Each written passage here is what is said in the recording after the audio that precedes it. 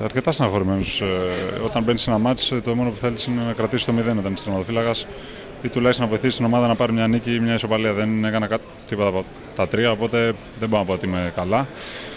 Σας είπα, το μόνο που μπορούμε να κάνουμε είναι να σκεφτούμε μεταξύ μας ε, τι κάναμε λάθος και να τα διορθώσουμε στο επόμενο παιχνίδι ώστε να πάρουμε την νίκη. Από τη στιγμή που έρχονται, είμαστε κάποιοι παίχτε στην εθνική ομάδα, το μόνο που πρέπει να κάνουν είναι να έρθουν να παίξουν για την εθνική. Το να έρθεις εδώ πέρα και να μην είσαι προετοιμασμένος, όχι, δεν νομίζω ότι είναι φυσιολογικό.